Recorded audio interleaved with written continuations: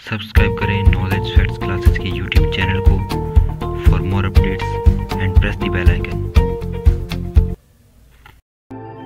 दोस्तों, आज हम इस वीडियो में जो प्राण विद्या के तहत हम मूलाधार चक्कर मूलाधार चक्कर का जो इसके बारे में हम जानेंगे कि यह क्या है और कहाँ पर यह होता है।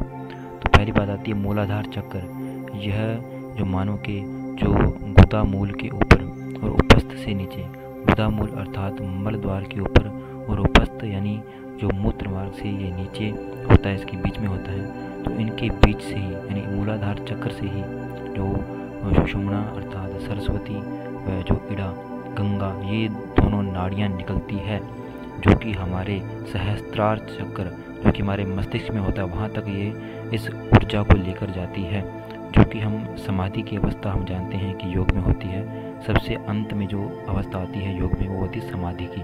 तो उसमें ये सारा जो चक्रों का प्रवाह होता है शक्ति का, वो अंत तक यहीं लेकर जाती है, सहस्त्रार चक्र तक। और यही चक्र, जो कुंडलिनी कुंडलिनी जागरण है, उसका मुख्य आधार होता है। यानी कुंडलिनी शक्ति, यदि मनुष्य को पानी है अपने जीवन में तो वो मूलाधार चक्र को उसमें ध्यान करे, तभी उसको वह प्राप्त कर सकता है।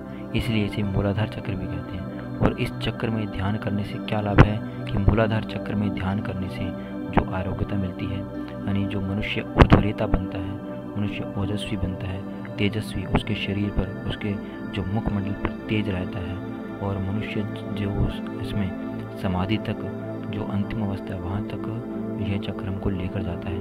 और साथ ही जो मलमूत्र संबंधित जो भी तंत्र हैं, उनसे संबंधित जो भी रोग हैं जो भी व्याधि हैं उनकी भी समाप्ति होती है इस चक्कर में ध्यान करने से। और जैसा हम, हम बता दें आपको ये मूलाधार चक्र इसका जो तत्व है इसका जो तत्व है वह है पृथ्वी। और यह जो वायु है इसमें होती अपान वायु से संबंधित है ये मूलाधार चक्र और ये अन्नमय कोष से संबंधित है मूलाधार चक्र तो इस प्रकार से ये मूलाधार चक्र के बारे में जो भी जानकारी थी जो भी हमने हमारे पास थी जानकारी हमने आपको उपलब्ध करवाई आशा है कि आपको मूलाधार चक्र की इन शक्तियों के बारे में जानकर अवश्य ही अच्छा लगा होगा। आज के इस वीडियो में इतना ही। धन्यवाद।